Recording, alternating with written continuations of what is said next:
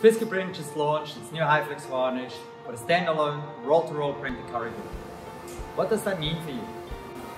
You now can decorate and enhance any roll media using varnish as a spot, an overlay, or to highlight certain areas of your print.